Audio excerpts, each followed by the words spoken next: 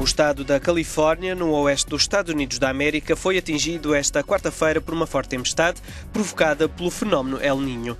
A forte precipitação provocou inundações num estado afetado por uma seca severa. O Serviço Nacional de Meteorologia avisa que a tempestade pode prolongar-se até sexta-feira.